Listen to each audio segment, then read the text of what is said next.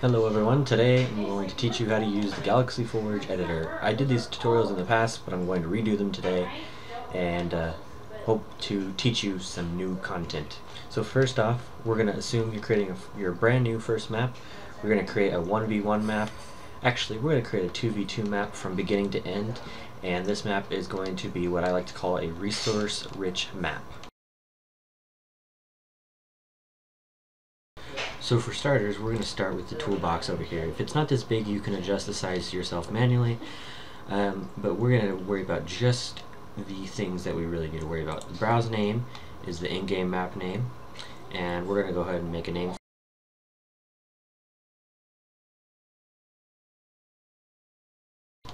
This is the more advanced feature called browse picture, and we'll cover that at a later time. And then description is the description of the map.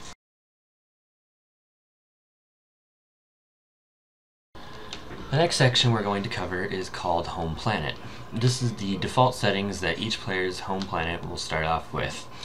For the most part, I leave these as default. And then defaults is the, when you create a new star, what um, those defaults of that star will be. Um, you know, a new player starting credits, metal, crystal, etc and if you create new entities what their default owner will be. So now we're going to add two more players to the map and their home planets.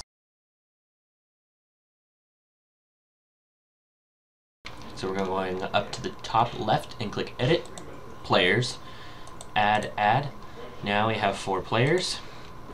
So now we're going to add a planet for those two new players. We can double click double right click and click add planet and add planet.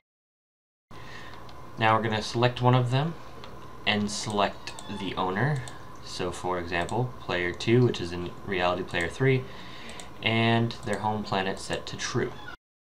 The next one will of course be player 3 slash player 4 and home planet to true. Now we're going to connect these planets by holding the control key and now that they're all connected they can all technically get to each other. Now obviously this wouldn't be a very fun map unless you gave the player all of their units, resources, etc. So now we're going to go back over to this section, the toolbox, and we're going to do planet, planet artifact density to 80 and bonus density to 80. This is what I like to call a resource-rich map.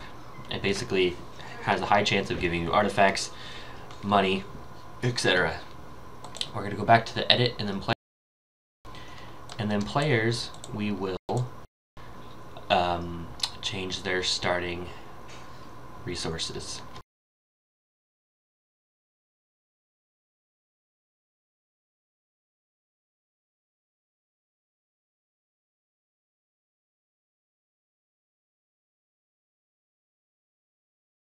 We'll press OK, and that's done. So now I'm going to create a couple random planets, and you guys can watch me do that. Um, this is going to be a one-star map, but um, here's a couple planets, and uh, I will talk to you about why I picked certain ones after I'm done.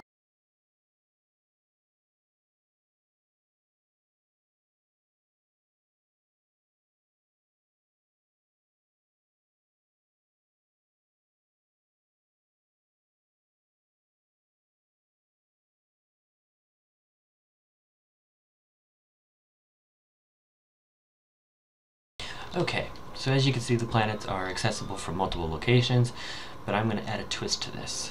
To get to these, um, we're going to actually do it this one. We're going to select this planet and we're going to select type and turn it to a pirate base.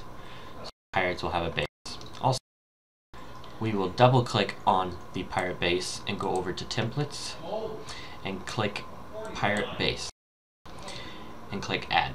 That'll make it a pirate base. And it start with pirate units. We're gonna go ahead and click save.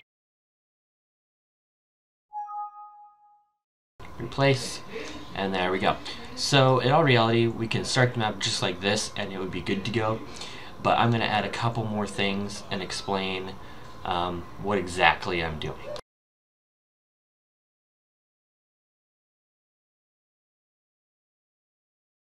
So, for example, I want the players to start with one Titan each, but I'm going to give them the Titan that I want.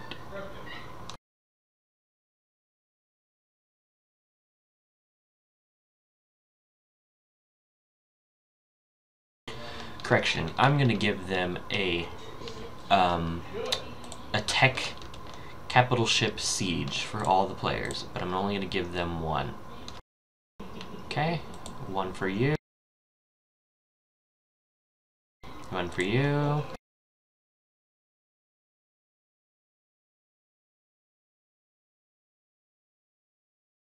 And that is it. So we would save again. And this map is basically good to go. Um, you could visit our website at aoudevcommunity.com or aouclan.com and it'll take you there.